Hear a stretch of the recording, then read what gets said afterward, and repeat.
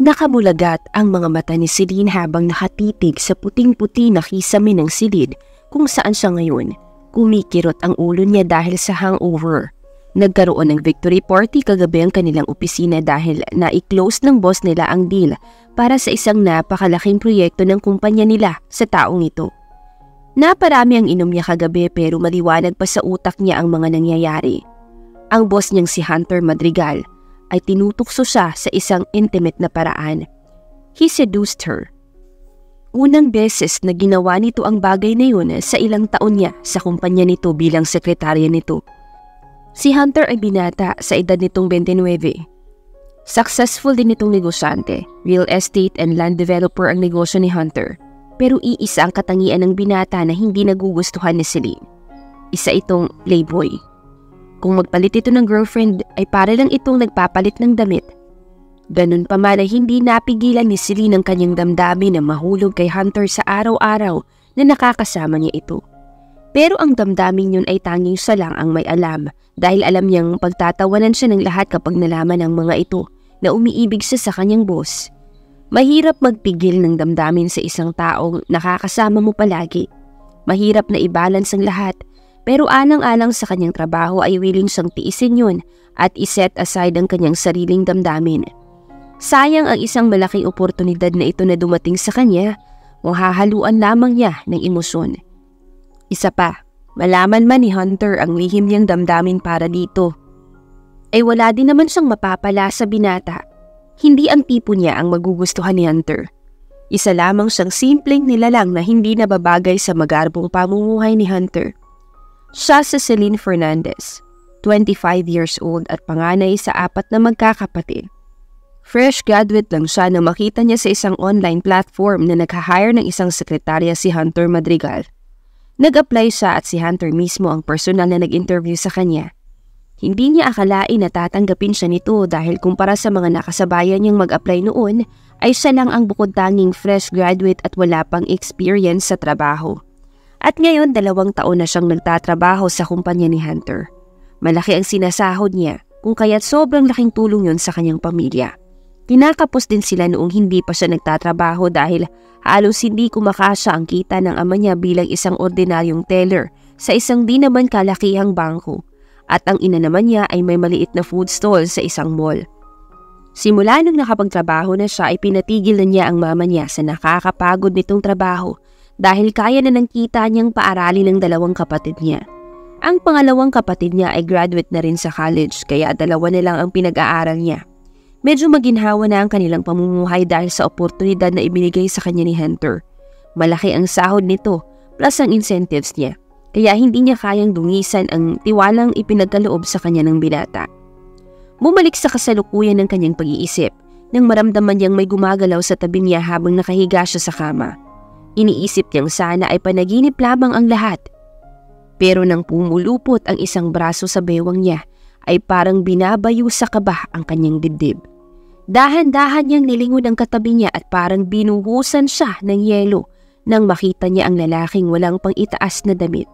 Sinundan ng paningin niya ang nakahantad na katawan nito hanggang sa natigil ang mga mata niya sa bewang ng lalaki na natakpan ng puting kumot hanggang sa mga binti nitong mabalahibo. Natutup niya ang kanyang bibig nang biglang lumiwanag sa kanyang alaala ang talagang nangyari kagabi. Yun na nga, nagpadala siya sa panunukso ng boss niyang si Hunter. Isinuko niya ang lahat-lahat dito kagabi sa tulong ng alak. Ang damdamin niyang matagal niyang kinikim kay maituluyan na niyang pinakawalan kagabi. Napalunok siya nang dumantay sa kanyang bewang ang mainit na braso ni Hunter. Napatingin siya sa tagiliran niya kung saan naroroon ang maliit na side table. Sa ibabaw noon ay nakapatong ang maliit na alarm clock. Nakasaad sa orasan na yun na mag-aalas 5 na ng umaga. Muli siyang napatingin sa katabi niya. Mahimbing at mukhang masarap ang tulog ni Hunter. May pagkakataon pa siya para linisin ito nang hindi nito namamalayan. Ang nangyari kagabi isang pagkakamali. Pareho silang walang pananagutan ni Hunter. Mahal niya ito pero ang malaman nito ang damdaming yun ay hindi nararapat. Maingat niyang kinuha ang braso ni Hunter na nakapulupot sa kanya. Damang-daman niya ang pananakit ng buo niyang katawan dahil sa nangyari sa kanila kagabi ni Hunter. Pero kailangan niyang linisin ang lugar na ito bago pa magising ang binata. Wala siyang mukhang ihaharap kay Hunter matapos niyang isuko ang lahat-lahat sa kanya. Ang kanyang sarili, kaluluha at puso. Maingat siyang bumaba sa kama at pinulot isa-isa ang mga saplot niyang nagkalat sa sahig ng hotel. Sa function hall ng hotel na ito ginanap ang victory party ng kanilang kumpanya at natandaan pa niya na nagbook nga ng hotel room si Hunter sa mismong hotel na to. Mabilis niyang isinuot ang mga damit niya nang maramdaman niya ang paggalaw ni Hunter. Nakahinga siya ng maluwag nang makita niyang tulog na tulog pa rin ito. Binirisan pa niya ang kanyang pagkilos para makaalis na siya kaagad. Pagkatapos niyang magbihis ay dali-dali niyang kinuha ang kanyang bag at maingat na lumabas sa silid na yun. Nakaramdam siya ng relief noong tuluyan na siyang makalabas at nang maisara niya na ang pinto. Patakbo siyang lumapit sa elevator at sumakay doon. Pagdating niya sa ibaba ay nagpasalamat din siya dahil kaagad siyang nakasakay ng taxi. Habang lulan siya ng taxi ay mariin niyang ipinikit ang mga mata niya at inihilig ang kanyang ulo sa headrest. Kinapa niya ang kanyang sariling damdamin kung may pagsisisi ba siya sa mga nangyari kagabi sa kanila ni Hunter. Pero wala. Wala siyang ni katiting na pagsisisi sa kanyang dibdib. Pakiramdam niya ay nararapat lang na kay Hunter niya ibigay ang kanyang sarili. Dahil ito naman ang unang lalaking kanyang inibig. Ang masakit lang dahil hindi nararapat ang kanyang pag-ibig sa isang Hunter Madrigal. Mahirap lang siya at sobrang yaman ng boss niya. At ang nangyari sa kanila kagabi, sa side ni Hunter ay isa lamang pagnanasa na ginatungan ng alak. Nakita naman niya kagabi na lasing na lasing na ang kanyang boss pero hindi pa niya ginamit ang natirang katinuan ng utak niya para pigilan ito sa panunukso sa kanya. Miss, miss, nandito na tayo. Untag ng taxi driver sa malalim niyang iniisip. Sorry po, medyo nakaidlip po ako. Naisipan niyang idahilan sa mamang driver. Ngayon lamang niya na-realize na medyo matagal na pala silang nakahinto rito sa kanto papasok sa kanila. Hindi makakapasok ang taxi sa loob dahil maliit na eskinita ang daan papasok sa kanilang bahay. Kumuha siya ng pera sa kanyang bag at inabot yun sa driver. Bumaba na rin siya sa taxi. Sukli mo, miss. Magalang na inabot ng lalaki ang sukli niya. Nginitian niya naman ito at umiling. Keep the change po. Pagkasabi noon ay tinalikunan na niya ito at dali-daling tinahak ang daan papasok sa kanila. Pagdating sa kanila ay naabutan pa niya ang kanyang ina na nagluluto ng almusal. Nagtataka siya nitong tinitigan. Iniwas naman niya ang kanyang paningin sa ina. Nakaramdam siya ng guilt dahil sa kasalanan niyang nagawa ng nagdaang gabi. Lumapit siya sa ina at nagmano rito. Magandang umaga po, ma. Nang makita niyang akmang magsasalita na ang kanyang ina ay inunahan na niya ito kaagad. Hindi po ako nakauwi kagabi dahil medyo nahilo po ako sa ininom kong wine. Kina Faith na po ako natulog. Si Faith ay close friend niya sa pinagtatrabahuan niya. Tumango naman ang kanyang mama. Tanda na naniniwala naman ito sa sinabi niya. Gusto niyang bawiin ang kasinungalingan na sinabi niya sa ina. Pero alangan naman na sabihin niya na kaya siya hindi nakauwi kagabi dahil sa ibinigay niya ang kanyang sarili kay Hunter, ba? Diba? O siya sige na, magbihis ka na doon at sumabay ka na sa pag-aalmusal ng mga kapatid mo. Hinarap na ng kanyang mama ang niluluto nito. Napasandal siya sa pader na nasa likuran niya. Ito ang unang beses na gumawa siya ng kasalanan at sinundan niya pa ng kasinungalingan. Teka, papasok ka pa ba sa opisina niyo ngayon? Kung akong tatanungin mo, umabsent ka na lang muna para makapagpahinga ka naman kahit papano. Simula kasi nang magtrabaho ka sa kumpanyang yan, ay hindi ko na alam kung kilala mo pa ba ang salitang pahinga, Celine. Mabuti naman yung delikado ka masyado sa trabaho mo pero ang hindi mabuti ay kapag magkasakit ka dahil sa sobrang subsub ka sa trabahong yan. Pasermo na tura ng kanyang mama habang patuloy ito sa ginagawa nitong pagluluto. Hindi na rin po muna ako papasok ngayong araw ma. Kanina pa niya iniisip habang nasa taxi siya ang bagay na ito. Hindi niya lang ma-establish ng maayos sa sarili niya kung ano ba talaga ang nararapat niyang gawin matapos ang namagitan sa kanila ni Hunter. Mabuti naman, sambit ng kanyang ina. Nagpaalam na muna siya rito na magbibihis lang siya Pagkatapos niya sa silid niya ay pabuntong hininga niyang ibinagsak ang kanyang sarili sa kanyang maliit na kama. Nagtatalo ang isip niya kung papasok pa ba siya sa trabaho o tuluyang lumayo na lang. Hindi niya kayang harapin si Hunter pagkatapos ng lahat. Hindi pa nagtagal siyang nakapasok sa kanyang silid nang tumunog ang cellphone niya sa kanyang bag. Walang kabuhay-buhay na kinuha niya yun sa kanyang bag para tingnan kung sino ang tumatawag. Mabilis ang tibok ng puso niya na makita niya ang pangalan ni Hunter na siyang tumatawag sa kanya. Tinitigan niya lang ang screen ng kanyang phone bago niya naisipang patayin yun. Wala siyang mahagip na salita para isabi kay Hunter kapag mag-usap na sila nito. Hindi rin niya kayang harapin si Hunter. Pagkaalmusal ay bumalik na rin siya sa kanyang silid at nahiga roon. Gusto niyang matulog at kalimutan saglit ang nangyari, pero hindi rin naman siya makakatulog. Imbis na magkulong ay bumangon na lang siya para maglinis ng kanilang bahay. Mag-isa na lang siya sa kanilang bahay dahil pumasok na sa trabaho ang kanyang papa. Ang mama naman niya ay nagpaalam kanina sa kanya na may aasikasuhin lang sa City Hall sa araw na to. Medyo nawawala sa isip niya si Hunter dahil inabala niya ang kanyang sarili sa mga gawaing bahay. Hindi niya alam kung ilang oras na siya sa kanyang ginagawa nang may kumatok sa kanilang pinto. Inilapag niya sa center table ang hawak niyang feather duster at lumapit sa pinto para pagbuksan ang kung sino mang kumakatok. Sa isip niya ay ang mama niya ang nasa labas. Pero pagbukas niya sa pinto, ay muntik na siyang atakihin sa puso nang mapagbuksan niya ang hindi kanyang ina, kundi si Hunter mismo. Bakit di ka pumasok ngayong araw na to? Hindi mo ba alam kung ilang beses kitang tinatawagan pero hindi kita makontak? As usual, demanding pa rin si Hunter.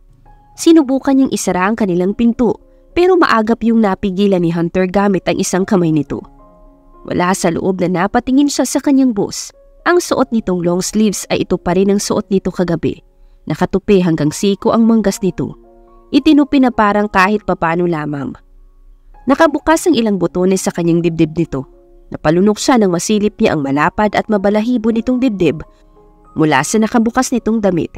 Nahihiya siyang isipin na nakita na niya at nahawakan na niya yun kagabi. Ang buhok nito ay magulo at halatang kakabangon lang nito sa higaan. Nakasampay rin sa kaliwang balikat nito ang leather jacket nito na suot kagabi. Uh, bakit nandito ka, sir? I mean, hindi mo naman kailangan na magpunta rito dahil lang sa nag-absent ako. Unang beses ko pala ngayong nag-absent. Nakayukong tugon niya. Alam niyang namumula ang magkakabilang pisngi niya dahil nahihiya siyang isipin na ibinigay na niya ang lahat sa boss niya nang walang itinira para sa kanyang sarili. Tinatanong kita kung bakit naka-off ang phone mo. Balik tanong naman sa kanya ni Hunter. Napahawak siya sa dahon ng pinto dahil wala siyang alam na sasabihin sa sandaling yun. about last night, lasing ako at iniwan mo akong tulog. Agaw ni Hunter sa sinasabi niya. Please, wag na muna nating pag-usapan ng bagay na yan. Pagmamakaawa niya kay Hunter. Matagal na tinitigan lang sa ni Hunter bago ito nagsalita ulit. Okay, Celine. Bibigyan kita ngayon ng oras na makapag-isip dahil alam kong naguguluhan ka pa sa mga nangyari. Pero bukas, gusto kong pag-usapan natin ang tungkol sa bagay na to. At kung anong magiging kahihinat na sa ginawa natin kagabi. I don't blame alcohol for why we ended up in bed last night. Parang gugustuhin na lamang niya ang lumubog sa kinatatayuan niya dahil sa matinding kahihiyan sa topic na binuksan ni Hunter. Nakakahiya pala talagang pag-uusapan ang isang intimate na bagay sa pagitan ng isang babae at isang lalaki, lalo na at wala naman silang romantic relationship ni Hunter. Maliban sa boss niya ito at empleyado naman siya nito. Sir, nangako kung hanggang doon na lang ang nangyari sa atin. Wala akong demand at pangako. Kakalimutan ko ang bagay na yun. Sabi niya sa nanginginig niyang boses. Bumalik ka na sa loob ng bahay niyo at bukas natin pag-uusapan ng bagay na to sa aking opisina. Tumalikod na ito pero muling humarap sa kanya nang may maalala na sabihin sa kanya. And one more thing, don't call me sir. After last night ay mukhang hindi na rin bagay na mag-sir ka pa sa akin. Call me Hunter. Hindi siya nakasagot at tinalikuran na siya ni Hunter. Nakasunod lang ang paningin niya sa lalaking matangkad at hindi mapagkamalang mahirap kahit na halatang bagong gising lang ito. Ipinakita lang nito na hindi nababagay si Hunter sa kanilang lugar dahil sa estado nito sa buhay. Ipinakita lang nito na hindi sila bagay ni Hunter at dapat niyang putulin ang pantasa niya sa binata. Pagkapasok niya sa loob ng kanilang bahay ay nakapagdesisyon na rin siya na kahit mahirap isipin kung ano ang kahihinat na ng desisyon na gagawin niya, Bago pa siya maliitin ni Hunter dahil sa hindi sinasadyang nangyari sa kanila, ay dapat na niyang isalba ang kanyang sarili. Pati na rin sa kahihiyan kapag nalaman ng katrabaho niya ang nangyari sa kanila ng boss niya. Kinagabihan ay nilakasan niya ang loob niyang isatinig sa pamilya niya ang nasa isipan niya. Kasalukuyan silang naghahapunan. Pa, saan na nga ba ang lugar ni Tita Selly? Tanong niya sa ama. Ang sinasabi niyang Tita Selly ay kapatid ng ama niya na nakapangasawa sa isang probinsya. Nasa Palawan. Maikling sagot naman ng ama niya. Inisip nito na wala namang ibig sabihin ang tanong na yun ng kanyang anak. Gusto kong pumunta doon pa, sabi niya matapos uminom ng tubig. Aba, mabuti yan. Masarap nga magbakasyon doon si Lynn. Maganda ang lugar na yan. Makakapag-unwind ka rin kahit papano. Patuloy ng ama niya sa pagkain nito. Mukhang natuwa pa ito dahil inisip nito na magbabakasyon siya. Hindi po bakasyon ang bala ko kung bakit ako pupunta doon pa. Gusto kong manirahan doon o kahit maghanap man lang ng trabaho doon. Diretsong sagot niya. Ang lahat ay natigil sa kani-kanilang pagkain at napatingin sa kanya. Matagal lang na natigilan siya ng mga magulang niya at ng mga kapatid niya. Ang ate, hanep kong mag-joke. Natatawang sabi ng kapatid niyang si Jojo. Ito ang unang nakabawi sa pagkabigla dahil sa sinabi niya. Hindi ako nagbibiro. Seryosong turan niya. Teka nga si Lynn, ipaliwanag mo nga ng maayos yung sinasabi mo. Ang ina naman niya. Muli siyang uminom bago sinimulang sabihin ang planong nabuo niya sa araw na to. Una po kasi, masyado na akong napipressure sa trabaho ko sa kumpanya ni Sir Hunter. Masyadong loaded dahil sa patong-patong na deal na na-close ni boss. Kaya naisipan kong mag-resign. Hindi na rin kasi ako masaya sa trabaho ko. Oo, sayang yung opportunity pero kahit na sino naman siguro na hindi masaya sa isang bagay ay hindi rin kakayanin na magstay. Nagsisinungaling siya pero yun lang naman ang maaaring valid na rason na maaari niyang sabihin sa kanyang pamilya. Baka nabigla ka lang silin anak. Napatuwid sa kanyang pagkakaupo ang kanyang papa. Umiling siya. Nasisiguro ko naman po, pa, ma, na makakahanap ako ng trabaho talagang magugustuhan ko doon sa lugar ni Tita Selly kapag napunta ako roon. At ipinapangako ko naman po sa inyo na hindi mapuputol ang tulong pinansal ko sa pag-aaral ni Jojo at ni Loisa. Kinuha ng ina niya nakapatong niyang mga kamay sa ibabaw ng lamesa at mahigpit na hinawakan yun. Nginitian din siya nito nang tumingin siya rito. Kung hindi ka na masaya sa ginagawa mo, ay karapatan mong tumigil si Lynn. Kung saan mapapanatag yung puso mo ay sundin mo yan dahil mahalaga ang masaya ka sa pinipili mong bagay. Lagi mong tandaan yan. Kung yan ang gusto mo, ay hindi ka naming pipigilan. At huwag mo masyadong isipin ang pag-aaral ng mga kapatid mo dahil hindi mo naman obligasyon na pag-aralin sila. Nagpapasalamat lang kami dahil tinutulungan mo kami ng papa mo kahit hindi naman namin hiniling sa'yo na gawin mo. Gusto niyang maiyak sa madamdaming pangangaral ng kanyang ina sa kanya. Pero gustuhin man niyang manatili ay hindi niya magagawa dahil natatakot siya sa susunod na paghaharap nila ni Hunter. Tama na ang isang gabing pagkakamali. Sa bagay, tama naman ang mama mo si Lynn. Kung saan ka masaya, nandito lang kami nakasuporta sa'yo. Sang-ayon pa rin ang papa niya. Kailan mo balak umalis kung ganun? Tanong ng kanyang ina. Relax lang ito at halatang suportado ang kanyang mga desisyon. Bukas po sana ng madaling araw. Sagot niya na ikinagulat ulit ng lahat. Bakit sobrang rush? May pagtatakang tanong ng mama niya. Gusto ko lang pong madaliin ang lahat. Pinal na sagot niya. Wala ka naman sigurong maiiwan na problema sa pag-alis mo, ba diba ate? Ang kapatid niyang si Loisa. Loisa! Saway naman ang papa niya sa kapatid niya. Biro lang naman papa, Ibinalik na nito ang atensyon nito sa naudlot nitong pagkain. Nang gabing yun ay pumayag naman ng mama at papa niya sa desisyon niya. Tinawagan ng papa niya ang tita Selly niya para ipaalam ang pagpunta niya doon. Matapos nilang maghapunan ay tinulungan na din siya ng mama niya na mag-impake ng mga gamit niyang dadalhin sa kanyang pag-alis. Kinabukasan ay maaga siyang inihatid ng papa niya sa airport papuntang Palawan. Nagpasalamat siya dahil nakakuha naman siya kaagad ng chance passenger na ticket. Halos isang oras lang ang hinintay niya sa airport bago ang flight niya. Mag-ingat ka doon anak. From time to time ay tumawag ka sa amin. May pagka-emosyonal na bili ng kanyang papa. Sinang-ayunan naman niya ang lahat ng bili na ng kanyang ama. Ah, papa. Alang ang tawag niya sa ama nang paalis na sana ito. Bakit? May problema ba? Nababahalang tanong naman ng kanyang papa. Umiling siya. Wala po. Pero may hihilingin po sana ako sa inyo. Basta para sa iyo, Dak. Nginitian siya ng ama niya. Isang malungkot na ngiti dahil sa unang pagkakataon ay lalayo siya sa mga ito. Just in case po pa. Tumikhi muna siya bago niya itinuloy ang kanyang sasabihin. Just in case lang naman po na may maghanap sa akin na tao na related sa trabaho ko sa kumpanya ni Sir Hunter.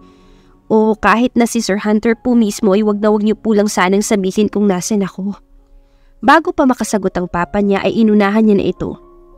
Ayaw ko lang po talagang may kahit na ano pa akong balita sa kanila. At ganun din sila sa akin. Lalo po't hindi man lang ako nakapag-resign ng maayos. Ilang minuto lang siyang tinitigan ng kanyang ama na para bang tinatansya nito ang damdamin niya. Kung yan ang gusto mo, Celine. Sagot ng papa niya na ikinahinga niya ng maluwag. Hindi na niya kailangan pang mag-explain sa ama ng kahit na ano tungkol sa hiniling niya dahil hindi na rin ito nagtanong pa ng kung ano-ano. Pagdating niya sa Palawan ay hindi naman siya nahirapan dahil sinundo naman siya ng kanyang tita Sally sa airport. At tama ang kanyang papa nang sabihin itong sobrang ganda ng lugar na ito. Ito ang pangarap niyang lugar na uuwian dahil sa magandang paligid at mukhang tahimik. Bakit ka nga pala nag-resign sa trabaho mo, Celine? Sabi ng papa mo ay sobrang okay naman daw ang trabaho mo sa Maynila. At kilala sa buong mundo ang may-ari ng kumpanyang pinagtatrabahuan mo doon. Bukas paksa ng tita Celine niyang habang kumakain sila ng hapunan. Uminom muna siya ng tubig bago niya sinagot ang mga tanong ng kanyang tita Selly. Masyado na po kasing pressure ang trabaho ko doon, tita. Sa bagay, eh sobrang laking kumpanya ang napasukan mo, Celine. At first job mo yun, kaya hindi nakapagtataka kung ganyan ang nararamdaman mo. Pero huwag kang mag-alala, sa work experience mo na yan ay hindi malabong makakahanap ka rito ng trabahong talagang magugustuhan mo. Nakangiting tugon sa kanya ng tsahin. Ngumiti lang siya at tumango bilang tugon sa sinabi ng tiyahin niya sa kanya. Matanong ko lang po tita, wala po ba kayong alam na room for rent dito? Sinadya niyang ibahin ang topic dahil ayaw niyang mapunta kay Hunter ang usapan nila. Sa totoo lang, nasasaktan siyang isipin na hindi na niya makikita pa si Hunter kahit kailan dahil ito ang bagay na nararapat niyang gawin. Mas masasaktan lang siya kapag makakasama niya si Hunter pero makikita naman niya na masaya ito sa iba. Lalong hindi niya makakalimutan ang namagitan sa kanila noong nagdaang gabi. Bakit ka pa magre-renta? Ay ang laki-laki ng bahay na to. Si Jason lang naman nakasama ko rito kaya mas maigi nga na narito ka at may makasama rin kaming dalawa. Si Jason ang limang taong gulang na anak nito. Alam mo naman na hindi naman nagpipirmi ang tito Ronnie mo dito dahil sa trabaho niya. Asawa nito ang binanggit nito na si Tito Ronnie. At nagbabarko ito kaya madalang lang itong umuwi. Gusto ko rin po maging independent, tita. Gusto kong subukan na mamuhay mag-isa. Nahihiyang tugon niya. Maingat din siya sa mga pinipili niyang salita dahil baka ma-offend sa kanyang tsahin niya. Bueno, kung yan ang gusto mo, naiintindihan naman kita Pero sana ay tanggapin mong iaalok kong to sa'yo, Celine. Dahil ayaw naman kitang hindi nakikita at nababantayan. Hindi sa wala akong tiwala sa'yo. Ang sa akin lang naman ay responsibilidad kita rito dahil inihabilin ka sa akin ng papa mo. Opo, tita. Naiintindihan naman po kita Ginitian niya ulit ang sahin. Kung talagang gusto mo mapag-isa, Pwedeng dyan ka na lang tumira sa tindahan namin sa labas ng gate. Maayos naman yan at safe. May maliit na ring lutuan at banyo kaya wala ka nang poproblemahin pa. Malapit ka pa sa amin at matitingnan pa kita. Paano na lang kasi kung magkasakit ka at wala kang malapitan kapag malayo ka sa akin? Paliwanag nito sa kanya. Saglit niyang pinag-isipan ang sinabi nito sa kanya. Nakita na niya kanina ang tindahan na tinutukoy nito. Sarado na yun at hindi na ginagamit. Medyo malaki naman yun at siguradong magiging komportable siya sa pananatili niya doon. Payag po ako tita. Para na din malapit lang ako sa inyo. Sang-ayon niya sa question ng tita Selly niya sa kanya. Kung payag po kayo ay lilinisin ko po yun doon bukas bago ako maghanap ng trabaho para matirahan ko na rin yun kaagad. Sige, tutulungan na kita bukas dahil wala namang pasok si Jason bukas. Natutuwang sabi ng sahi niya. Paano po ang renta? Ang ibig ko pong sabihin ay magkano po yung rent doon. Para po alam ko kung kaya ng budget ko. Nahihiyaman ay tinanong pa rin niya ang kanyang tiyahin. Natawa naman ito sa sinabi niya. Hindi mo naman kailangang magbayad ng rent sa akin dahil masisira lang naman yan dyan dahil hindi naman ginagamit pa. Alam mo naman na wala akong katulong dito sa bahay na to at wala na rin akong oras pa kung magbubukas pa ako ulit ng tindahan ko. Kaya pwede mong tirhan yan dyan ng libre hanggat gusto mo. Ikaw nang bahalang magbayad ng bills mo sa tubig at kuryente. Baka po kung anong sabihin ni Tito Ronnie kapag nalaman niyang ginagamit ko yan ng libre. Kiming sagot niya. Mas natawa pa ang siyahin ng sagot niya. Ay suswag mo ng alalahanin yan. Kasi kung siya nga ang masusunod ay matagal na niyang pinasira yan dahil hindi naman ginagamit. Matutuwa pa yon dahil alam niya na may kasama na kaming pamilya dito ng anak niya. Baka nga questionin pa ako kung bakit hinayaan kitang manirahan dyan samantalang alaki ng bahay na to. Salamat po talaga sa iyo, tita. Taos puso niyang pasasalamat. Sino ba naman ang magtutulungan kundi tayong magkapamilya? Bukal naman sa puso ang sagot nito sa pasasalamat niya. Kinabukasan niya ay magkatulong sila ng tita Selly niya sa paglilinis ng nasabing tindahan. Maluwag naman sa loob, parang isang maliit na apartment na walang division. May CR naman doon at may maliit na lababo at lutuan. Sinadya daw talaga palagyan yun ng tito niya dahil kapag nagbabantay raw ang tita niya doon, ay doon na ito magluluto at kumain. Pinahiram din siya ng tita Selly niya ng mga kurtina na inilagay doon. Nagmukhang bahay tuloy iyon. Napangiti siya dahil malaking savings ito kapag nakapagtrabaho siya at libre ang kanyang tirahan. Kung tinatamad ka pang magtrabaho, ay pwede ka namang maggrocery rito, Celine. Suhestyon ng tsahin niya habang nag-aayos sila roon. Parang mabuti nga po yung suggestion mo, tita. Pero pag-iisipan ko po muna. Nakangiti niyang itinigil ang pagpupuna sa dingding. Ikaw ang bahala. Basta, pag may kailangan ka, sabihin mo lang sa akin. Sagot ng tita Selly niya. Patuloy ito sa pagkakabit ng mga kurtina na pinahiram nito sa kanya. Dumaan ang tatlong linggo ay parang tinatamad pa rin siyang maghanap ng trabaho. Iniisip niyang maigi ang sinabi noon ng kanyang tita Selly. Mabilis niyang naisipan na paano nga kung subukan niyang maggrocery na lang muna. Total may ipon pa naman siya mula sa sahod niya noon sa kumpanya ni Hunter. Si Hunter. Nanikip na naman ang kanyang dibdib nang maisip niya ang tungkol sa binata. Sa totoo lang ay namimiss na niya ito. Yung mga utos nito sa kanya nung nagtatrabaho pa siya rito. Pero dahil wala siyang karapatan na mamiss ito, ay tinigilan na niya ang kakaisip sa lalaki. Dinalangan na rin niya ang pagtawag sa kanila dahil noong tumawag siya noong nakaraang araw ay ibinalita sa kanya ng mama niya na ilang beses daw na nagpunta sa kanila si Hunter at hinahanap siya dahil daw sa mga trabahong iniwan niya. Mapait siyang umiti. Yes, nang dahil lang sa trabaho kaya niya ako hinahanap. Ang namagitan na yun sa amin ay walang kahit na anong halaga yun kay Hunter. Bulong niya sa kanyang sarili at sinubukang huwag maiyak dahil nasasaktan siya sa mga nangyayari. Dahil parang hindi pa siya handa magtrabaho sa ibang kumpanya, ay sinunod niya ang payo ng tita Selly niya na maggrocery na lang muna siya roon habang wala pa naman siyang ginagawa. Para kahit papano ay may kinikita pa rin sa araw-araw ng pananatili niya sa lugar na yun. Sinamahan siya ng tiyahin niya na bumili ng mga ibebenta niya. Nasa counter na siya nang bigla siyang nakaramdam ng pagkahilo. Napahawak siya sa counter dahil mabubuwal siya kung hindi niya gagawin yun. Okay ka lang ba? Masama bang pakiramdam mo, Celine? Nag-aalalang tanong sa kanya ng sahin niya na makita siyang namumutla. Opo, tita. Nangihinang sagot niya. Pinilit pa niyang ngitian ng tita Selly niya kahit na nahihirapan siyang gawin yun. Parang biglang umikot ang kanyang buong paligid sa sobrang hilo na nararamdaman niya. Namumutla ka! Hinawakan nito ang dalawang braso niya at inalalayan siya papunta sa isang upuan. Maupo ka dyan at ako nang magbabayad sa counter. Hindi ka siguro nag-almusal kung kaya't sumama bigla ang pakiramdam mo. Paser mo na dagdag nito. Nanghihinang kinuha niya ang pera niya sa loob ng kanyang bag at inabot yon sa tita Selly niya para ito nang magbayad sa counter. Mabilis lang to. Hintayin mo lang ako dyan. Nagmamadali na siyang tinalikuran ng sahin niya. Bumalik ito sa counter. Timing naman na matatapos na sa pagbabalot ng bagger sa mga pinamili niya kaya hindi na rin sila nagtagal doon. Kaya mo bang lumakad? Tanong nito nang balikan sa nito sa kanyang kinauupuan. Opo, tita. Medyo bumuti naman po yung pakiramdam ko. Tumayo siya para ipakita rito na totoong kanyang sinasabi.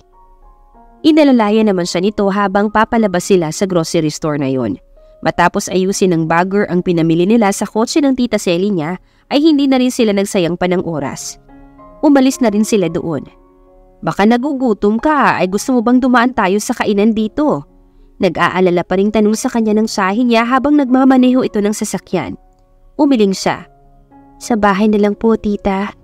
Kaya lang naman po ako nahilo dahil siguro sa mata ko. Matagal ko na rin sana itong ipapacheck up kaso nawalan lang ako ng oras noon. Pero ngayon wala naman akong trabaho. Bukas siguro o makalawa ipapatingin ko na talaga ito sa doktor. Sige, ikaw ang bahala. Basta sigurado kang maayos ng pakiramdam mo ngayon, Celine. Sobrang nag-alala ako sa iyo kanina. Pasensya na po kayo, tita. Pangako po, hindi na po mauulit yun. Pagbibigay assurance niya sa kanyang sahin. Nang makarating sila ay binigyan siya ng kanyang tita Sally ng pagkain.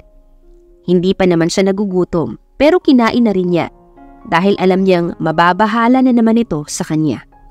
Kada subo niya ay kaagad siyang umiinom ng tubig dahil masusuka siya kung hindi niya gagawin yun. Hindi lamang niya pinapahalata sa kanyang tsahin ang nararamdaman niyang yun sa mga sandaling ito. Sa isip niya ay baka sumusumpong na naman ang kanyang asid, kasabay ng kanyang astigmatism. Hindi na rin bago sa kanyang ganitong dinaramdam, maliban lang sa parang sobrang lala nito ngayon kung ikumpara sa mga nakaraan na pagsumpong ng kanyang acid at astigmatism. Matapos niyang ubusin ng pagkain ay nagpaalam na sa kanyang tiyahin na magpapahinga na muna siya. Tawagin mo ako kapag nananatiling masama ang pakiramdam mo, Celine. Bili nito sa kanya dahil hindi siya nito mapipilit na doon na magpahinga sa bahay nito. Opo, tita. Magpapahinga lang po ako saglit. Lumakad na siya papunta sa kanyang tinitirhan. Pagdating doon ay kaagad siyang nahiga sa kanyang kama. Sobrang bigat ng kanyang katawan at parang lalagnatin pa siya. Hanggang kinabukasan ay mabigat pa rin ang kanyang pakiramdam at paminsan-minsan na sinusumpong ng kanyang pagkahilo. Wala rin siyang ganang kumain. Kapag naroon ang tita Selly niya at kinukumusta siya, ay nagpe-pretend lang siyang maayos ang kanyang pakiramdam. Ang mga pagkaing binibigay nito sa kanya ay pasikreto niyang tinatapon kahit alam niyang hindi mabuti ang magsayang ng pagkain. Nasusuka kasi siya kapag pinipilit niyang kumain. Ayaw rin naman niyang malaman ng sahin niya na hindi niya kinakain ang mga pagkaing inihahanda nito para sa kanya. Namumutla ka, Celine. Puna nito sa kanya habang sinasalansa nito ang mga panindan niya. Bukas na bukas din ay sasamahan kitang patingin sa doktor. Ayoko namang sabihin ng papa mo na pinapabayaan kita dito. Sasagot pa sana siya pero hindi na niya nagawa dahil nasusuka na naman siya. Mabilis siyang pumasok sa banyo at nagduwal doon. Wala man siyang maisusuka dahil wala naman siyang halos nakain. First time niyang makaramdam ng ganito. Hindi niya alam kung ano bang problema sa kanyang kalusugan. Ano pang nangyayari sa yung bata ka? May pagdududa sa boses ng sahi niya.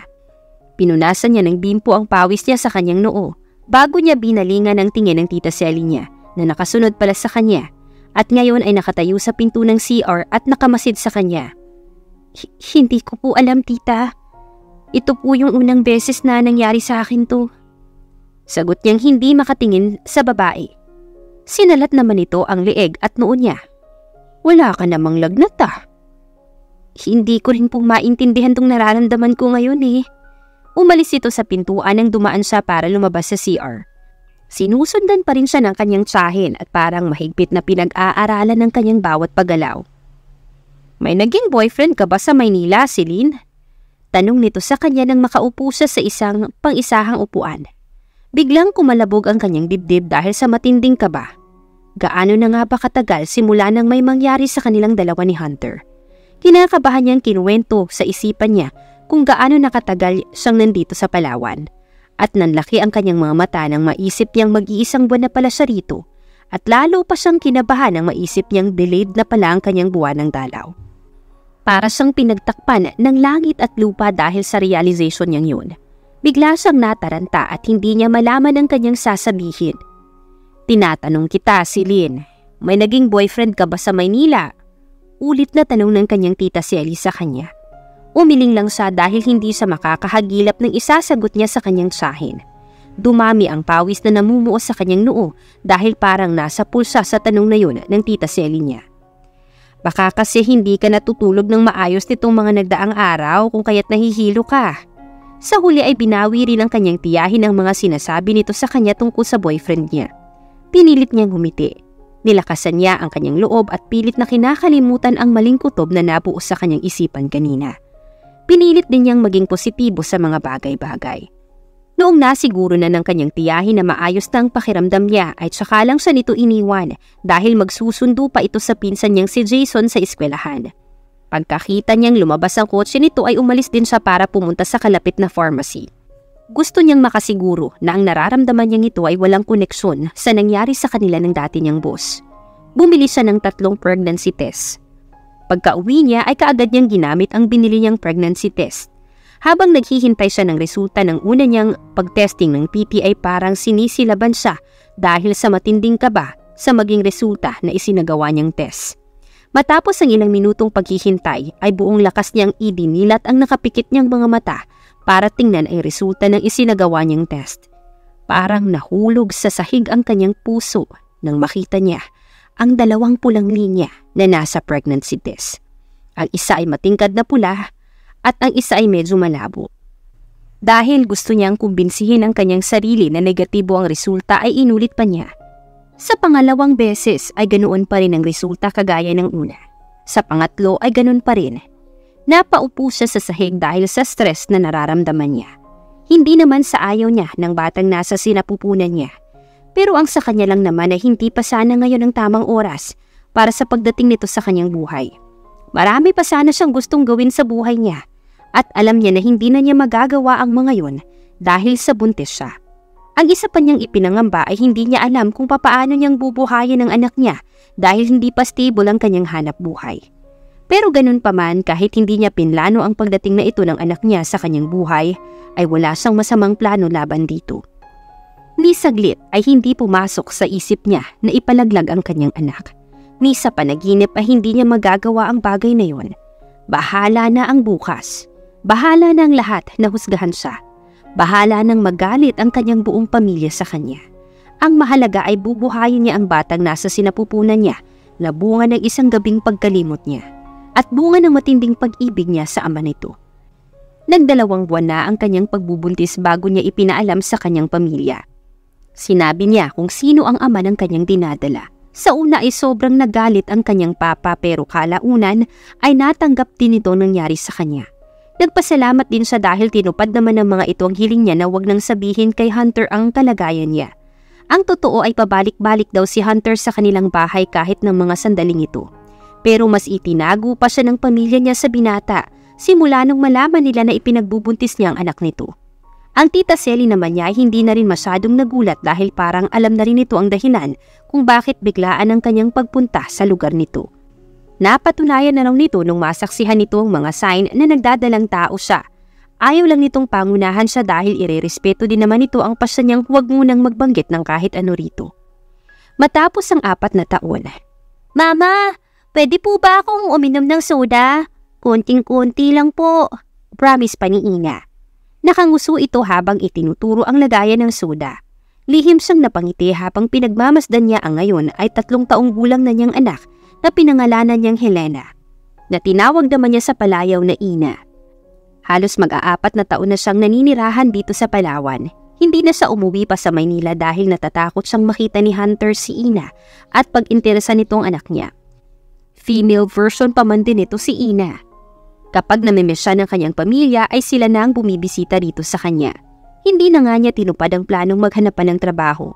Ang tindahan na lamang ang tanging pinagkakitaan niya rito sa Palawan sa totoo lang ay hindi madali ang kanyang buhay kasama ang kanyang anak.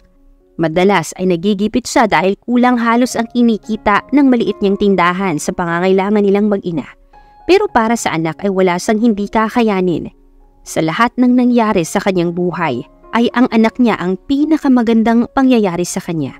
Nagpapasalamat din siya dahil nariyan naman ang kanyang tita Sally na kaalalay sa kanya at hindi sa pinapabayaan simula noong nagbubuntis pa lamang siya. Mama, pwede po ba? Ulit na tanong sa kanya ni Ina nang hindi siya sumagot sa unang tanong nito. Okay, pero konting-konti lang ah. Nakangiting tugon niya sa anak. Mahina niyang kinurot ang mataba nitong pisngi. Parang si Hunter ang nakikita niyang nagmamakaawa sa kanya dahil halos pinagbiyak na bunga ang mukha nito at ng ama nito. May kurot na naman sa kanyang puso nang maalala niyang tungkol kay Hunter. Paano ba naman kasi niya ito makakalimutan kung araw-araw naman niya itong nakikita sa kanyang anak? Konting-konti lang po, Mama. Promise po yan ni Ina. Itinaas pa nito ang dalawang kamay nito na tila nanunumpa sa kanya. Natawa naman siya sa huling sinabi nito. Ito ang palagi nitong sinasabi sa kanya kapag nagpapromise ito. Matalino ang kanyang anak sa murang edad nito. Namana rin yata ang katalinuhan ng ama nito. Masunurin din itong bata at mabilis na makaintindi sa mga paliwanag niya.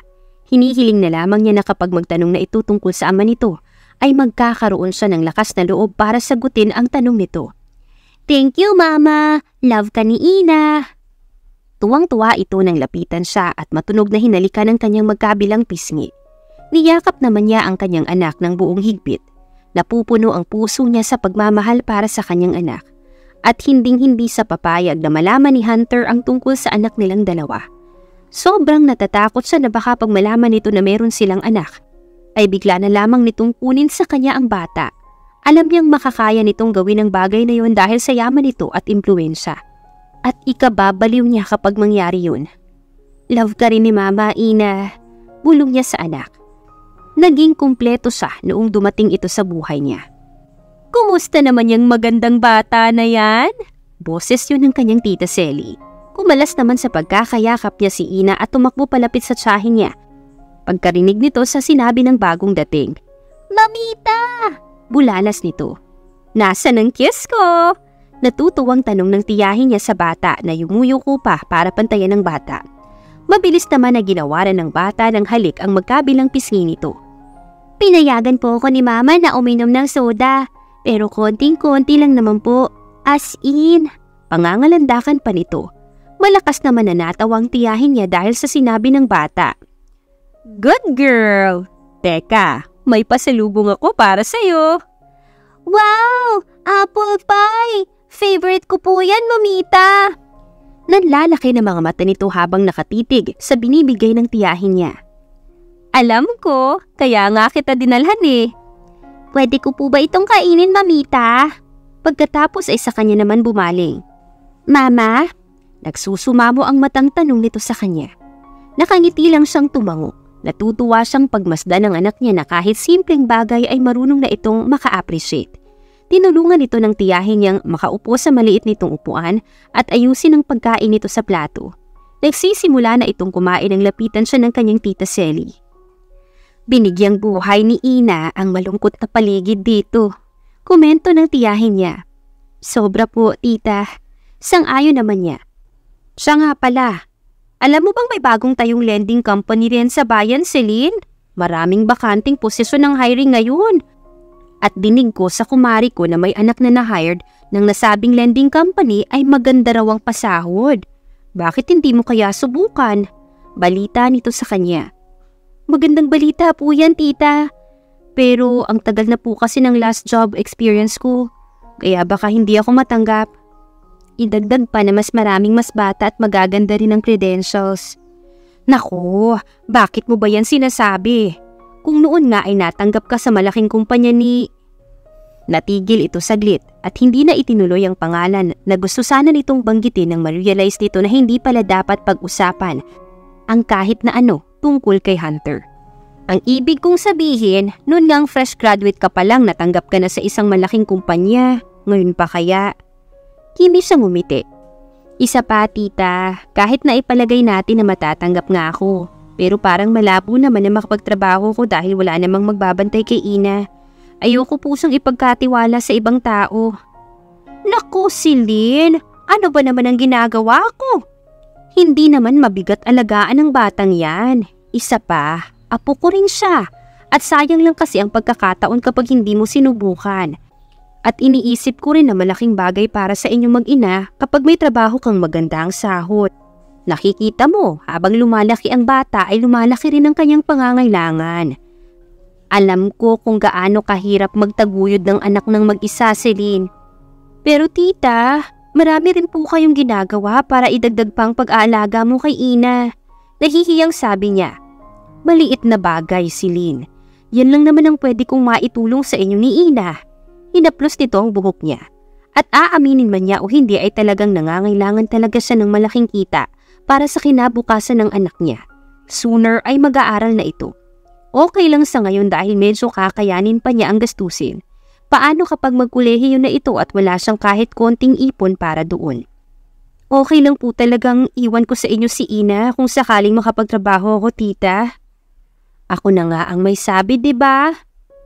Mag-a-apply po ako sa makalawa kung ganun. Parang bigla rin siyang nakaramdam ng excitement. Anong makalawa? Dahil alam kong maraming naghahangad na makapasok sa kumpanyang yan, Celine. Udyok pa nito sa kanya. Sige po, susubukan ko po bukas. Go, ako na ang bahala dito sa cute kong apo.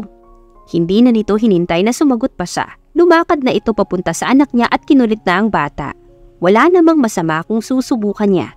Total, wala naman siyang poproblemahin sa anak niya dahil nabuluntaryo naman ang tiyahin niya na ito na ang bahalang mag-alaga kay Ina kapag nasa trabaho na siya. Kinabukasan nga ay maaga pa siyang gumising at inayos sa mga gamit ng anak niya. Iiwan niya ito sa tita Selly niya dahil mag a apply siya ngayon sa sinabi ng tita Selly niya na bagong tayong lending company sa bayan. Matapos niyang magbihis at maiayos ang lahat ay dinala na niya ang anak niya at ang gamit nito sa bahay ng tiyahin niya. Umalis na siya kaagad para makauna siya sa pila. Alam niya na marami ang mga aplikante mamaya. Nang marating niya ang building ay inasikaso naman siya ng personnel doon at hinanay sa mga nakapila na. Pasalamat siya dahil ilan pa lang sila na naroon. Pangatlo siya sa pila. Alas 8.30 ang simula ng initial interview at quarter to 8 na rin ngayon kaya ilang minuto na lang ang hinihintay niya. Maya-maya lang ay nagdagsaan na ang mga aplikanteng bagong dating. Matapos ang ma-interview ay ilang saglit pa ang kanyang hinintay bago inanunsyo ng interviewer na nakapasa nga siya sa initial interview. Para sa final interview ay kailangan niyang bumalik after lunch. Tuwang-tuwa naman siya at hiniling na sana ay makapasa siya sa final interview. Habang naghihintay siya sa final interview ay doon na lang muna siya tatambay sa kalapit na mall at kakain na rin siya muna doon. Eksaktong natapos ang lunchtime at bumalik na siya sa building ng lending company na ina-applyan niya. Sakto lang ang dating niya at magsisimula na ang final interview sa kanilang mga nakapasa sa initial interview. Dahil hindi nakapasa ang dalawang nasa unang pila kanina ay sana ang unang i-interviewin sa final interview ngayon. Pagkatawag sa pangalan niya ay mabilis siyang lumapit sa mesa na mag-i-interview sa kanya.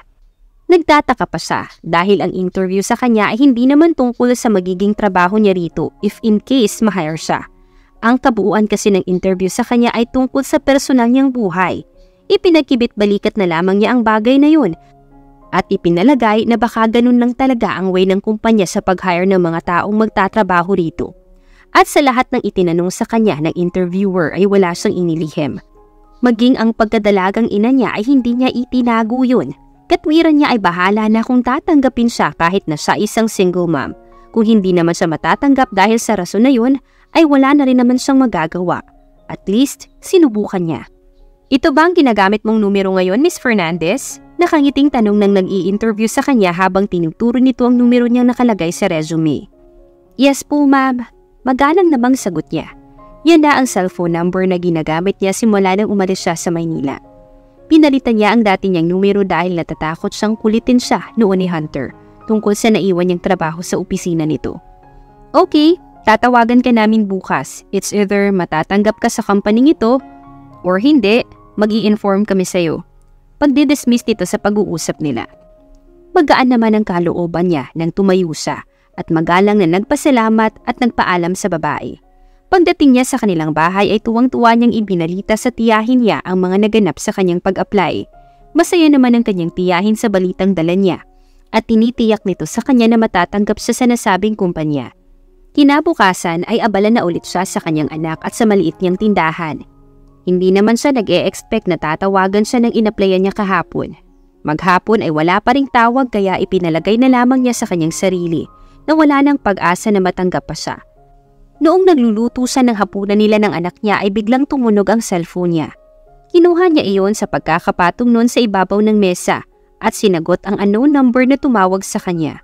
Bigla siyang na-excite dahil naisip niyang baka ang inaplayan niya kahapon ng tumawag sa kanya. Hindi nga siya nagkamali noong masagot niya ang tawag. Ito ba si Miss Celine Fernandez? Tanong na nasa kabilang linya. Yes, speaking. Masigla namang sagot niya. Gusto ko lang i-inform sa'yo na isa ka sa mga natanggap sa mga nag-apply kahapon. Talaga po? Excited niyang tanong. Hindi niya mapigilan ang tuwang nararamdaman niya dahil sa natanggap niyang balita. Yes, at kailangan mong pumunta rito for orientation. Sinabi nito sa kanya kung kailan ang orientation nila at pagkatapos daw ng orientation na yun ay magsisimula na siya sa kanyang trabaho. Napatalon siya sa tuwa nang matapos ang tawag na yun sa kanya. Bakit ka po happy, mommy? Tanong ng anak niya nang nilapitan siya nito. Kinarga niya ang bata at hinalikan ang buong mukha nito. Natawa naman ito dahil nakikiliti sa ginagawa niya. Dahil may work na si Mama Ina. Happy ka rin ba?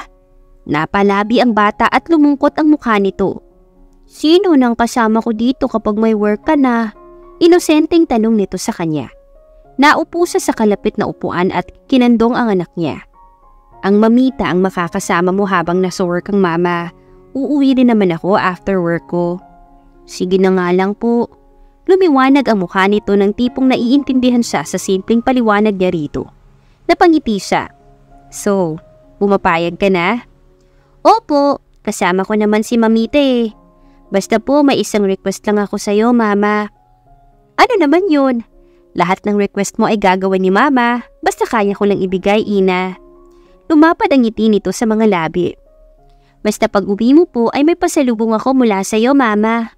Aba, kayang-kaya ni Mama ibigay ang request mo na yan, anak. Basta magpakabait ka lang kay Mamita. Tumango naman ito at yumapos sa liig niya. Mabilis din itong hinalikan ng kanyang labi. Hindi niya maipaliwanag ang tuwang nararamdaman niya habang yakap-yakap niya ang kanyang anak. Ito na ang isa sa mga moment na gusto niya. Ang lahat ng pagod niya ay biglang nawawala kapag nilalambing siya ng kanyang anak. Matapos nga ang kanyang orientation ay nagsimula na rin ang kanyang trabaho ng mga sumunod na araw. Magaan lang ang trabaho niya doon dahil mababait naman ang kanyang mga katrabaho. Mabilis lang na lumipas ang mga araw at mag-iisang buwan na siya sa kanyang trabaho bilang assistant admin. Wala na siyang hihilingin pa sa Diyos. Meron siyang mabait at magandang anak. Tapos, may maganda na rin siyang trabaho. Mama, bakit po maganda ang damit ko today? Tanong sa kanya ng anak niya habang sinisipat nito ang bagong bestida nito na kulay pink. Para itong living Barbie doll. Sobrang ganda ng anak niya. Namana nito ang halos lahat ng feature ng mukha ng ama nito. Kasi, sasama ka ngayon sa mama sa office dahil merong family ding lahat ng employees doon. Nagtatali siya ng buhok nito. Marami po akong makakalaro doon. Excited na tanong nito. Ngumiti siya rito. Tumango rin siya bago ipaabot sa bata na tamang hinala nito. Yay! Tuwang-tuwa ito. Napaka-priceless ng ekspresyon nito. Yun lang ay natatanggal na ang kanyang pagod. Sumakay sila sa taxi at pagdating nila roon ay marami ng mga tao. Ang mga katrabaho niya ay mga nakatodo ayos at masayang kasama ang mga pamilya nila. Kinawayan niya ang kaibigan at katrabaho niyang si Jennifer. Masaya naman siyang lumapit sa mesa ng mga ito at akay-akay ang anak niya Ipinakilala siya nito sa pamilya nito at ipinakilala naman niya ang anak niya sa mga ito. Puring-puri ang mga katrabaho niya sa kagandahan ng anak niya at sobrang proud naman siya sa magagandang salita na yun para sa kanyang anak. Dumating na ba yung big boss? Tanong niya kay Jennifer kalaunan. Ngayong araw kasi darating ang may-ari ng kumpanya galing Maynila. Sabi ng guard kanina, maaga daw dumating yun at nagpapahinga lang sa opisina nito. Sagot naman ni Jennifer. Ang may-ari kasi ay may sariling opisina rito kahit hindi naman ito nagagawi rito.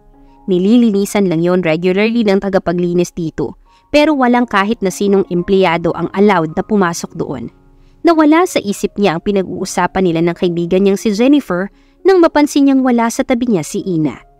Kanina lang ay nakahawak pa ito sa kamay niya pero ngayon ay hindi na niya mahagila pa ito. Ina! Ina! Nasaan ka? Tawag niya sa pangalan ng bata. Huwag kang mag-alala, Celine. Nasa paligid lang niyang si Ina at naglalaro. Hindi naman siya makakalabas dito dahil may guard naman sa exit at entrance. Wika ni Jennifer. Gusto niyang paniwalaan ang sinasabi ng kaibigan niya pero hindi siya mapapanatag kapag hindi niya nakikita ang anak niya. Hindi siya sanay na nawawala ito sa paningin niya kapag magkasama silang dalawa. Hanapin ko lang siya saglit, Jennifer. Paalam niya sa kaibigan. Kanina pa siya pabalik-balik sa kumpulan ng mga tao at hindi pa rin niya nakikita ang kanyang anak. Inakabahan na siya habang lumalakad siya sa pasilyo. Walang tao roon kaya tahimik ang paligid. Habang naglalakad siya ay tinatawag niya ang pangalan ng kanyang anak. Nakarating siya sa pinakadulo ng pasilyo ay hindi pa rin niya natatagpuan si Ina. Kahit sa mga CR ay pumapasok na siya sa pagbabakasakaling nagtatago lang doon ng bata pero hindi niya pa rin nakita roon ng bata. Ang excitement na nararamdaman niya kanina ay tuluyang nalusaw dahil sa nangyayaring ito. Kung hindi pa niya makikita ang anak niya rito ay pupunta na siya sa IT room para i-check doon ang CCTV. Ang pinakadulong pasilyo ay ang opisina ng Big Boss at hindi naman mapupunta ang anak niya roon dahil palagi namang nakasara iyon. Babalik na sana siya papunta sa IT room nang may marinig siyang boses mula sa bahagyang nakabukas na pinto ng opisina ng kanilang Big Boss. Lumapit pa siya sa pinto nang marinig niya ang pamilyar na pagtawa ng kanyang anak. Nakahinga siya ng maluwag nang makumpirma niyang boses nga ni Ina ang kanyang narinig. Napapanatag na ang kanyang loob dahil nandoon lang pala ang anak niya. Pero bigla siyang kinabahan nang maalala na nasa silid pala na yun ang big boss at nagpapahinga. Nag-aalala siya na baka sabihin nito na isa siyang pabayang ina dahil hinahayaan niyang pumasok doon ang anak niya na walang permiso mula rito. Lakas loob siyang kumatok sa pinto at maingat na binuksan yun. Ang kanyang nadatnan ay muntik pang magpaatake sa kanyang puso. Nakakandong ang anak niya sa lalaking halatang napakatangkad kahit na nakaupo lang dahil sa haba ng mga binti nitong nakaunat. Tumibok din ng sobrang bilis ang puso niya dahil kahit nakayuko ang lalaki ay alam niyang kilala niya ito. Ang lalaking yun, ang taong matagal na niyang pinagtaguan at ang kanyang anak ay masayang nakakandong dito. Panay ang tawa ng bata habang tinuturuan ito ni Hunter sa tamang paggamit sa laro ang hawak nito. Sa mga sandaling yon ay parang nais niyang agawin ng anak niya sa pagkakahawak ni Hunter at itakbo ito palabas ng building na pagmamay-ari pala nito. Matagal lang siyang nakatunghay sa dalawa at wala siyang alam na sasabihin o gawin para maagaw niya ang atensyon ng dalawa. Sinabi ba ng mama mo kung sino ang papa mo? Narinig niyang tanong ni Hunter sa bata. Parang sinasadya pa nitong marinig niya ang pagtanong nitong yun sa anak niya. Napakapit siya sa doorknob ng buong higpit. Walang sinabi ang mama ko tungkol sa papa ko. Kasi hindi naman ako nagtanong sa kanya, Sir Hunter. Inosenteng sagot ng bata. Naabala pa rin sa bagong laruan na sa tingin niya ay galing kay Hunter. Bahagyang natawa si Hunter dahil sa formal na pag-a-address dito ni Ina. Kahit nakayuko si Hunter ay nakita niya ang pagkislap ng butil ng luha sa pisngi nito. Siya naman ay parang pinagtakpan ng langit at lupa. Hindi pwedeng malaman ni Hunter na anak nito si Helena. Kung sasabihin ko ba sa'yo na akong papa mo, maniniwala ka ba? Bahagyang gumaralgal ang boses nito. Pwede naman po siguro, kasi sabi mo kanina ay magkamukha naman tayo. Sagot ni Ina na bahagya pang hinaplos ang gwapong mukha ni Hunter. Ito na nga ba ang kinatatakutan niya? Mabilis siyang lumapit sa dalawa at hinablot si Ina mula sa pagkakahawak dito ni Hunter. Pagkatapos mong inayo sa akin ng anak ko, sa mahabang panahon, ay pagkakait mo pa siya sa akin ngayon, Celine? Mapait na tanong sa kanya ni Hunter. Bakit po sinasabi yan? Hindi mo naman anak, itong anak ko, Hunter. Talaga ba? Matagal ko nang alam na nagbunga ang nangyari sa atin noong gabing victory party ng company, Celine. Matagal na rin kitang hinahanap pero hindi kita matagpuan. Mabuti na lang, aksidente kong nakita ang papa mo sa airport papunta dito.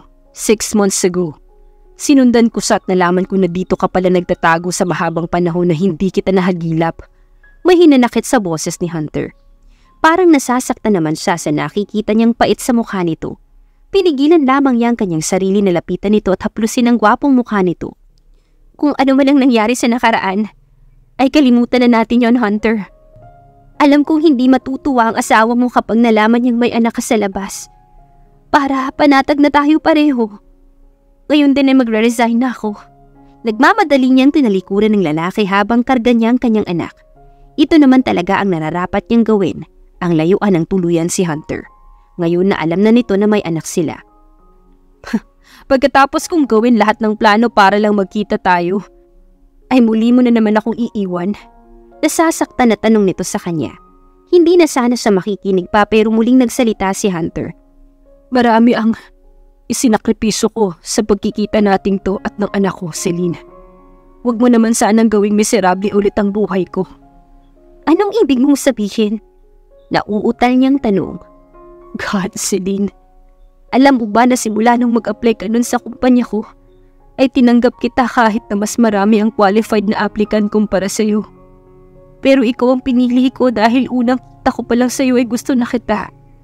Napaupo siya sa isang upuan dahil nanghihina sa kanyang pakiramdam sa ipinagtapat na ito sa kanya ni Hunter. Nagpatuloy si Hunter. Sinubukan kitang ligawan pero palagi mong ipinapakita sa akin na ang isang katulad ko ay hindi nararapat para sa'yo. Isa kang matinong babae at ako ay isang siraulo na pagpapayaman lang ang tanging alam gawin. At narealize ko na wala palang halaga ang pera kung hindi ka mapapasakin. Hunter, baka lasing ka lang at lasing. Nagpapatawa ka yata. Noong unang gabi ngang inangking kita, hindi ako lasing nun. Anong sinasabi mo? Makinig ka. At sasabihin ko lahat mula sa umpisa ng paggugulo mo sa buhay ko, Celine. Hinila nito ang upuan malapit sa kanya at naupo rito. Sinubukan kong pagsilosin ka sa pamamagitan ng mga babaeng dinadala ko sa opisina ko. Pero wala namang epekto sa iyo mga bagay na iyon. Nawawala na ako ng pag-asa kung paano ka magiging akin. Hindi ako marunong sa tradisyonal na panliligaw, Celine. Kaya idinaan na lang kita sa lahat ng paspasan. Hunter, makinig ka nga. Putol nito sa gusto niyang sabihin. Noong gabi ng victory party ng kumpanya, ay nakakita ako ng paraan. Nagpanggap akong lasing at inakit-akit kita. Hindi ko akalain na magtatagumpay ang plano ko. Yun na yata ang gabi ng buhay ko na sobrang saya. Daig pa noon na nakaklose deal ako ng isang napakalaking deal sa negosyo. Nung hindi ka pumasok ay sinubukan kitang intindihin dahil alam kong nabibigla ka lang sa mga nangyari. Kaya hinayaan na rin kita muna at hindi mo na kita pinresure. Ang hindi ko lang akalain ay bigla mo kong iiwan na walang salitang nanggaling sa'yo. Ah, nagbibiro ka lang at gusto mo lang ako i-comfort sa mga napagdaanan ko. Kung kaya't sinasabi mo yan sa akin ngayon. Parang panaginip lang sa kanya ang mga sinasabi ni Hunter. Sige, Sabihin mo sa akin kung paano muntik na akong malugi dahil parang nawawalan na ako ng ganang mabuhay nung hindi kita mahanap. Mabuti na lang at nasa lupa ni daddy ang mga responsibilidad kong napabayaan dahil sa pag-alis mo. Nang malaman kong nandito ka hindi na ako makapaghintay na puntahan ka, lalo na't nakita kong anak natin. Unang kita ko palang kay Ina ay nasisiguro ko ng akin siya dahil halos nakatingin lang ako sa batang picture ko. Bahagya itong natawa kahit na may luhang pumapatak sa mga mata nito. Mabuti na lang, sinunod ko ang advice ni mommy na huwag ka munang biglain dahil baka muli kang lumayo at hindi na kita makikita pa kahit kailan. Ipinatayo kong lending company na to at kinausap ang tsahin mo na akong kumbinsihin ka na mag-apply dito. At sobrang sarap pala ng pakiramdam kapag tumatama ang lahat ng plano sa timing. Alam ni Tita Selly, nagkausap kayong dalawa? Gulat na tanong niya kay Hunter. Tumango si Hunter. Nung sinundan ko ang papa mo dito ay kinausap ko sila ng tita Selly mo. At sobrang sayo ko dahil sa support na binigay nila sa akin. Pati si Papa, alam lahat to. Paniniyak niya. Muling tumango si Hunter. Ang buo mong pamilya ay alam na to. At excited na rin silang makabuo tayo ng pamilya natin, Celine. Mahal kita simula pa noong una kitang makita. At kung iwan mo pa ako ngayon ay mababaliw na ako ng tuluyan, Celine. May dinukot ito sa kanyang bulsa, isang maliit na kahon at binuksan ito yon sa harap niya mismo. Tumambad ang makinang na bato na tampok ang mamahaling sising. Ang oo mo na lang ang kulang para mabuo ko ang pamilyang ito, Celine. Hindi niya namalayan ang mga luhang pumatak dahil sa matinding kaligayahan niya ngayon para siyang idinuduyan sa alapaap. Hindi mo pa nga ako tinatanong. Tanong muna bagong sagot ko. Naiiyak at natatawa niyang saad. Natampal naman ni Hunter ang sarili nitong noo at natawa sa sinabi niya. Pagdating talaga sa'yo, nabubobo ko si Lynn eh. Celine Fernandez, will you marry me? Matamis na tanong sa kanya ni Hunter. Kung papayag si Ina, masayang tugon niya. Ngayon pala dalawa na ang liligawan ko. Helena Fernandez Madrigal, gusto mo bang pakasalan ko ang mama mo? Lumuhod ito sa harapan niya at ng anak nila. Yes, Papa. Gusto ko na makasama ka palagi, Papa. At gusto ko ring magkaroon ng isang baby brother na kamukha naman ni Mama. Kinuha ni Ina ang kamay ng ama nito at ito na mismo ang nag-guide para maisuot ni Hunter sa daliri niya ang singsing. Sabay naman silang natawa ni Hunter dahil sa ginawa at sinabi ng anak nila. Narinig mo naman yun, ba? Diba? Pabulong na tanong ni Hunter sa kanya. Natawa lang siya. Yes, Mr. Hunter Madrigal. Papakasal ako sa iyo dahil may pahintulot na sa anak natin. Tumayo naman si Hunter at niyakap sa at ang anak nila. Ikaw at ang anak natin ang buhay ko, Celine. Lagi mong tatandaan yan. Mahal na mahal ko kayo. Kung dati ay pangarap lang kita, ngayon ay aalagaan na kita habang buhay. Ikaw lang ang lalaking iibigin ko, Hunter. Mahal din kita. Makalipas ang isang buwan ay nagpakasal na si Hunter at Celine. Doon na rin sila nanirahan sa Palawan dahil sa kahilingan na rin ni Celine. Nagpatayo si Hunter doon ng isang napakalaking bahay. Pagkatapos ng isa't kalahating taon ay muling nagsilang si Celine ng isang gwapo at malusog na batang lalaki. Mahirap hulaan ang mangyayari sa buhay ng isang tao. Pero kapag ang isang bagay na sobrang gustong gusto ng puso mo at sincero kang maging sayo ay talagang ibibigay ng Diyos yun kapag manalig ka lang sa Kanya at taus-pusong magdasal. Hintayin mo lang ang tamang timing kung kailan ipagkakaloob ng Diyos ang mahigpit na kahilingan ng iyong puso. Wakas, muli po ay maraming salamat sa ating mga sugid na tagapakinig, lalong-lalo na kay Maylene Saira, Sahid from Pakistan, Josephine Garcia from Modena, Italy, Jean Romero from Germany with love, Delia Granada from Toronto, Canada, at saka Chris Javier. Maraming maraming salamat po sa inyong pakikinig sa ating kwento ngayong araw. Hanggang sa susunod, dito pa rin yan sa inyong inaabangang Dear Siren.